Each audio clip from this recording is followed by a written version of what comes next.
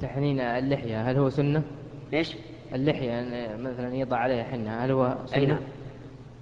يعني تغيير بياض اللحية. نعم. هذا سنة. نعم. إلا إذا كان في سواد. إذا كان في سواد فهو حرام.